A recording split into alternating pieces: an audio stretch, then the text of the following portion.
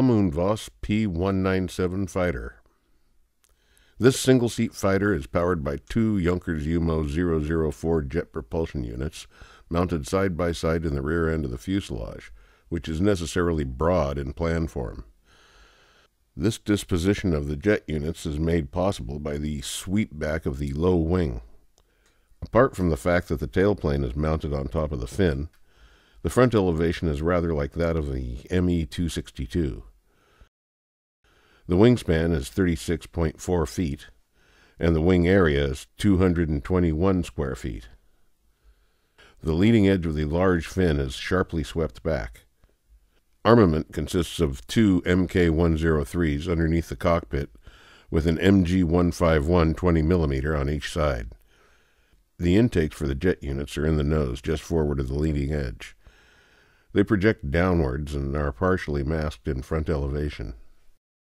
The estimated maximum speed at a mean weight of 12,850 pounds is 660 miles per hour at 27,000 feet, ignoring the Mach effect.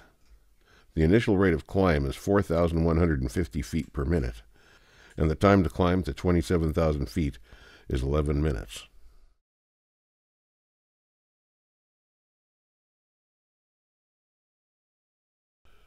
Blohm Voss P198 High Altitude Fighter. This high altitude fighter is powered by a BMW 018 turbojet unit, 7,500 to 7,700 pounds static thrust at sea level, slung beneath the forward part of the fuselage, necessitating a very deep forward fuselage, 8.15 feet.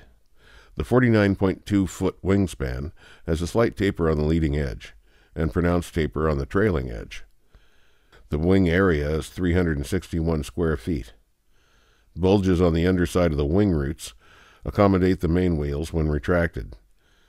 The armored cabin is well forward in the nose, and the armament is one MK412 and two MG151 20 millimeters. The all-up weight with 525 gallons of fuel is 16,000 pounds. Maximum speed 545 miles per hour at 11,500 feet. 485 miles per hour at 49,000 feet. Maximum speed with swept back wing of improved profile 590 miles per hour at 29,500 feet. 550 miles per hour at 49,000 feet. Rate of climb at sea level 8,350 feet per minute. Time to climb to 49,000 feet 11 minutes. Range at 51,000 feet, 900 miles. Endurance at 51,000 feet, 1 hour 50 minutes.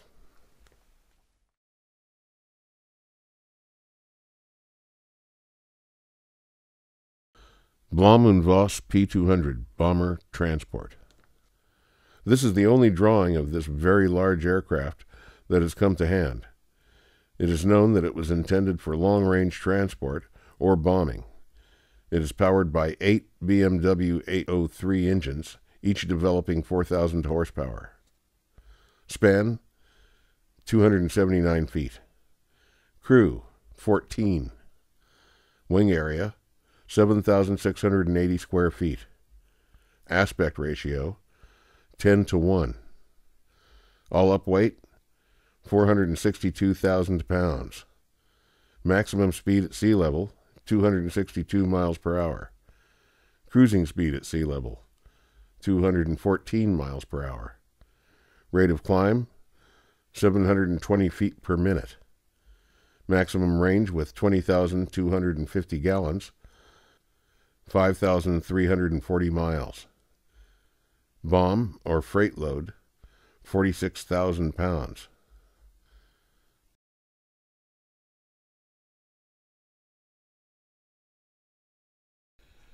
Blohm & Voss P208 Pusher Fighter. This single-engine fighter is unorthodox in layout. It is of tailless design, but auxiliary control surfaces are mounted on short booms attached to the wingtips and are swept downward.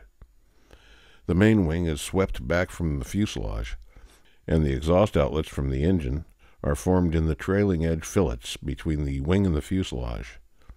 The exhaust outlets are therefore in front of the propeller, with, it is stated, beneficial results on its efficiency. The engine is mounted in the rear of the short fuselage, and no propeller extension shaft is necessary. The coolant radiator is mounted horizontally between the cockpit and the engine, the large intake scoop being underneath the fuselage and the outlet on the top surface. All armament is in the nose. A tricycle undercarriage is fitted.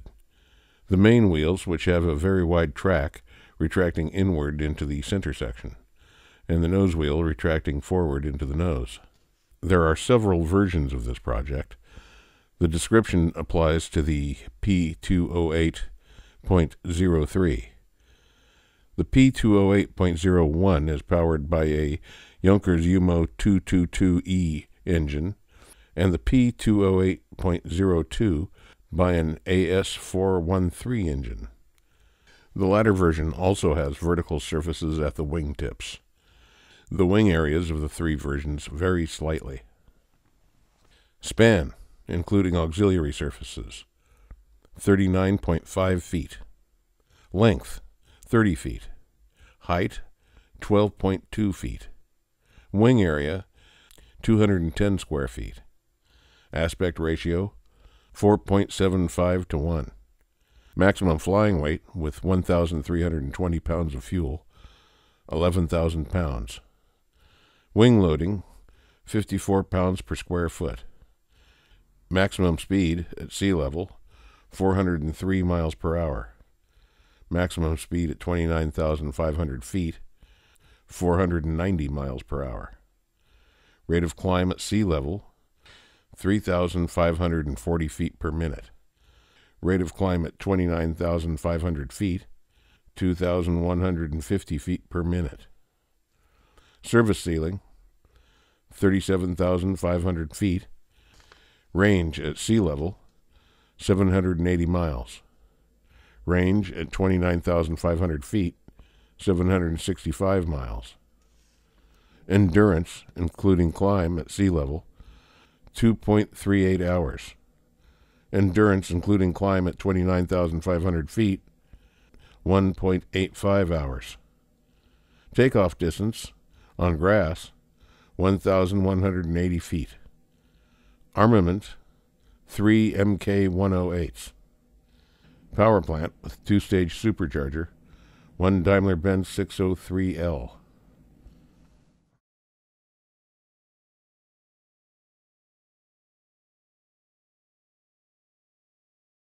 Blohm & Voss P-212 single jet fighter. The P-212 is a tailless single jet fighter with a swept back inverted gull wing and lateral control surfaces near the tip on the upper side only.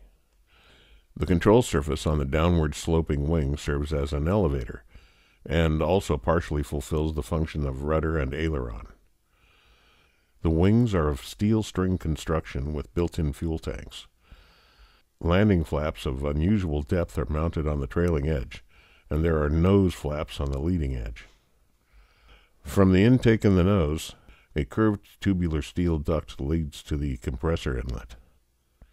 The pressure cabin is above the inlet duct, and between the cabin and the HES 011 turbojet unit at the rear, there is a fuselage fuel tank which with wing tanks gives a total capacity of 330 gallons. Two Mk 108 guns with 100 rounds per gun are mounted in the nose, one on each side of the air duct. A third Mk 108 can be fitted above the duct immediately in front of the cabin. If required, two supplementary Mk 108s with 60 rounds per gun can be mounted low down in the sides of the fuselage. Span including auxiliary wings, 32 feet 8 inches. Length, 24 feet 8 inches. Height, 8 feet 6 inches. Wing area, 150 square feet. Wing loading, 58.5 pounds per square foot. Maximum flying weight, 8,850 pounds. Fuel, 2,200 pounds. Maximum speed at 7,770 pounds. At sea level, 572 miles per hour. Maximum speed at 29,500 feet, 640 miles per hour. Rate of climb at 29,000 feet, 2,060 feet per minute. Service ceiling, 40,000 feet. Range at sea level, 280 to 322 miles. Range at 29,500 feet, 600 to 700 miles. Endurance at sea level, 29 to 41 minutes. Endurance at 29,500 feet, 67 to 99 minutes. Takeoff distance on grass, 2,300 feet. Takeoff distance with 2,200 pounds additional thrust, 1,080 feet. Armament, 70 rounds per gun, 3 Mk 108s. Power plant, 1 Heinkel HES 011.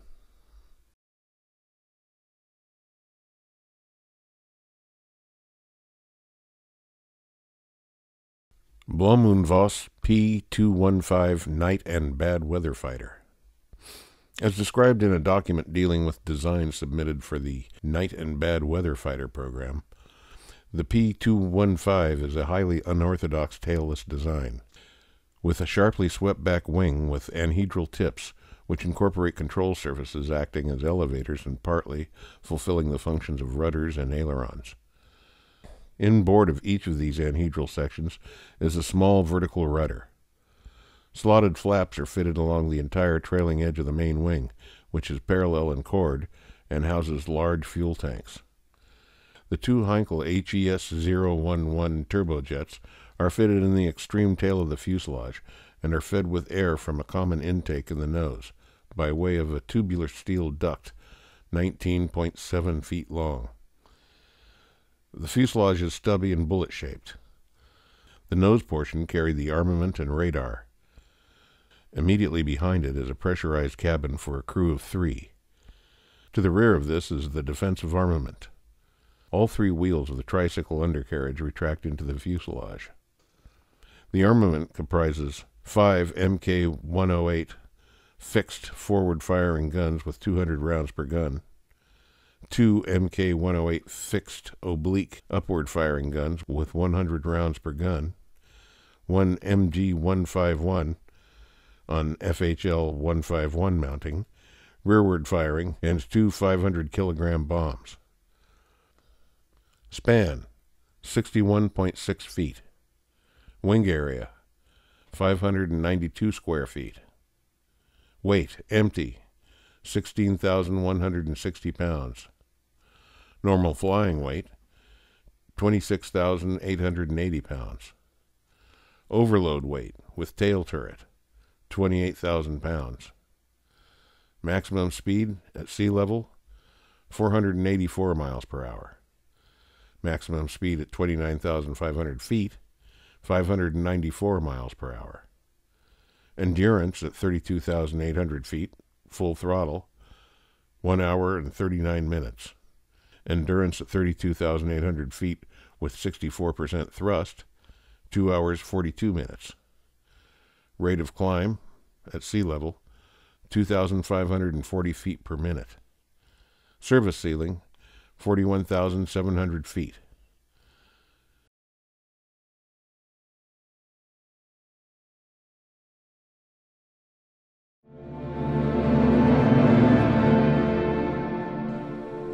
Howdy, folks. I find it interesting that the first three aircraft in this video, the P-197, P-198, and the P-200, have seemingly been ignored by major plastic injection molded model kit companies. Also, my friend Mike Arnold commented that the control surfaces on the P208, P 212 and P 215 are very aerodynamically sophisticated and advanced. Also, I made a high level executive decision to not include the Blohm und Voss 222 Viking um, in the regular series because it doesn't seem that experimental to me, and information on this aircraft is easily obtained. But as a courtesy, and at the insistence of my girlfriend, I will provide the data in the manuscript as a courtesy.